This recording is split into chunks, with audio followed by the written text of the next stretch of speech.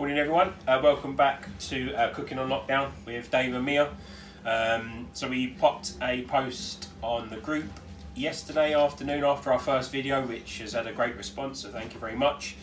And today's winner um, was pizza, Pitta pizzas. pizzas. Um, they're really, really simple, really, really easy. It's stuff that you can grab at the supermarket. Um, it's minimal prep time. Just Uh, small shops. small shops. Really, really good for a quick bite to eat for lunch, or it can make up part of a dinner um, with a, a side salad, or you can make some uh, garlic bread, which is really simple. Um, so we're just going to talk you through everything that we've got here and just show you how to put them together, and then we'll show you the end product. Really, really And simple, Ping really going to talk you through the herbs. So, um, this is just stuff that we've got to hand at home. So it's whatever vegetables you really want to put on there. So we've got red pepper, we've got red onion, we've got courgette, we've got mushrooms, we've got some uh, breaded sliced ham, we have some uh, Mozzarella cheese. fresh mozzarella cheese. It's a mozzarella ball, and then we've just got some grated cheddar. Um, who doesn't love a bit of cheese? and and then, then- we got some tomato. tomato sauce. So, um, for this part on the pizza, if you've got uh, passata in the cupboard, which is basically blitzed tomatoes, that's fine. Um, tomato puree works just as well. I popped out yesterday to buy tomato puree because um, I was shown this by an old sous chef of our previous jobs, Gary. Um, we used to just whack on a bit of tomato puree to make uh, make life easy. But the shops are out of tomato puree, so good old Lloyd Grossman stepped in with a tomato and basil sauce. So um, this is what we're going to use to just cover our pizzas. It's you know really really simple. Um, tin tomatoes will work fine. Um, if you don't like tomatoes, you can use pesto, um, or don't put any sauce on the bottom But at all. But if you have big chunks of tomato, you have to use one of the mash, how you make mashed potatoes, and just push You it can down. mash them up, yeah. So really, really simple this one. I'm going to talk you through this. So uh, we got some wholemeal pizza bread. So um, obviously the wholemeal factors are a bit healthier. So we're just going to build these up now. So we're going to start with tomato sauce on, on the bases of our pizzas. Just going to spread that around so like you would do a, a pizza. You might need quite a lot to put on them if you have big ones. You don't want to make them too wet. This is the, the key thing. You just want a light coating.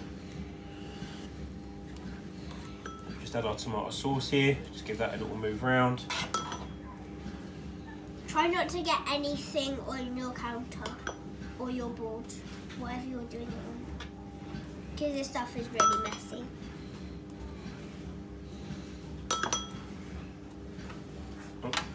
Bit more of this little Grossman. Yeah, that's a lot of tomato sauce in one. That's enough. That can be your one. No, I don't want that one. You can have this one that you messed up. So there we go. So just like you would build a pizza anywhere else. bit more on that one.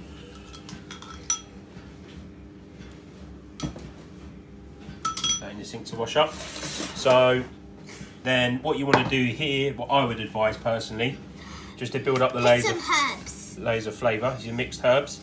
Just a little sprinkle. Yeah, just a little pinch and then sprinkle it all over your food. So we're trying to avoid salt. We're just trying to add flavour with our nice herbs and spices. And then you can just build your pizza as you want. So you don't want to go too thick on the ingredients um, because these are quick cook. Then you have to put cheese on first. No, after. So onion Put some ham on these ones. Just pre-dice these up. You can cut them how you think. Try and keep them quite thin. You don't want anything too chunky because you do want it to cook. So we're going to lay, and that's how to sneeze properly into the crevice of your elbow, as advised by the government. Here comes, here comes a little. Criminal. Off. Take your wellies off. Whoa. Whoa. She's a crazy little poo head. So we're going to just pop the onion on. It's really fun to do with your kids. It gets your kids involved. Um, they can obviously design their own pizza. And it's fun to on lockdown because you don't have to go to school. You have a Just sprinkle a little bit of red pepper and all as well. Take your wellies off. Take your wellies off, Charlie. Take your wellies off and then you can come in the video. Why are you putting so much on it? Why are you putting massive chunks in the middle? Move the ham around. And then I'm going to just put a couple of pieces of courgette. So you want to preheat your oven to about 200 degrees because we, we want to we want to get these cooking really quickly. Um, and that's why it's important as well to cut your vegetables quite thin. Yeah, and put a big blob of mushroom in the middle. And you want to There's put these on your, on your baking tray. You want to get these mushroom one. Some mushroom one. get these all laid up. A couple of bits of mushrooms. I'm gonna help him do this bit. This is gonna be Charlie's. Actually, no, So you can use sweet corn, you could use peas, Charlie doesn't. um, onions, peppers. Put that one in the bin, please, Mia. Don't put that. Don't put any mushroom on the middle one because Charlie doesn't like mushroom. And then just going to sprinkle with a bit of ham. Ham. I love it. I'll help you spill. And it's trying to keep the layer thin because it's a quick cook. We don't want to overcook the pita breads and make them too crispy. Um, Otherwise, you'd have a bad pizza. Think I had the most ham. and then oh, Cheese. you just want to Mozzarella. break your mozzarella over a few pieces. Mozzarella. If you haven't got mozzarella, cheddar will work just fine. Just grate some grated cheddar over the top. Uh, so we're just lucky that Just any we like of mozzarella. cheese can really it's something work. that we have. Any type of cheese can really work. Put that on. Gonna be the tastiest, cheesiest pizza in the world. And the reason that I love pizza is because I have Italian um, lessons at my school. But I'm really sad that they lock, but my school got locked down because I really like Italian. but you've got new teachers at home now, Mia. And then because we're extra greedy, and I like cheese, we're just going to add a little bit of grated cheddar on top of that as well. Mozzarella is quite mild, so Love this cheddar this. will just add a nice little boost of flavour. Get on my pizza. Just a little sprinkle. So we're almost using the grated cheddar as a bit of seasoning. I'm taking all the mozzarella. Right, give the hands a quick wash. cheese. Try to get some more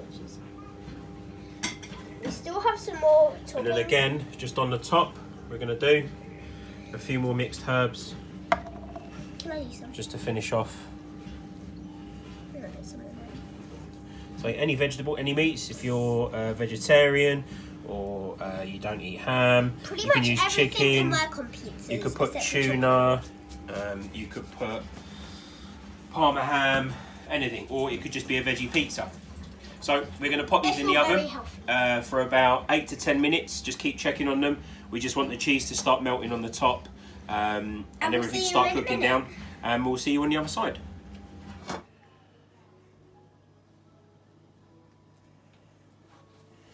So there we go. These have literally just had eight minutes at 200 degrees near the top of the oven. And you have some pita pizzas that are a perfect, light, healthy snack. So we're going to let these cool off just a little bit so we don't burn our mouths. And then um, we'll have a try, let you know how it's going. And um, yeah, we'll see you on the other side again. And we'll see if it tastes good.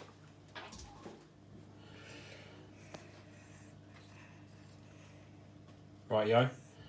So um, here's our pizzas. These have cooled down for about five minutes just to take the edge off the cheese so it's not molten.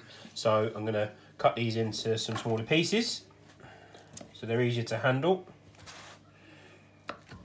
I'm really excited to taste these. We worked And so then because this is a daddy one, I don't need small finger pieces. I'm a big boy. And we'll have a try. I've got a tiny piece. Chin chin. Mmm, very nice. So it's lovely. Really stimulates a pizza. Um, a fraction of the cost. Nice and healthy, full of vegetables. What more can you want? Get the kids involved, making something fun, and get them to have some more vegetables as part of their one of their five a day. Um, I'm sure Mia's happy with that. You happy? Yep. Yeah. And there's one for mummy, there's one for the baby, and then a couple of spare. These are also great if you let them go cold, put them in the fridge. They're a great snack just to eat cold as well. Um, say bursting with flavour and tasting super. So thanks for joining us again on uh, Lockdown Cooking with Dave and Mia. And we'll see you on our next video. Family. Say bye, Mia. Bye.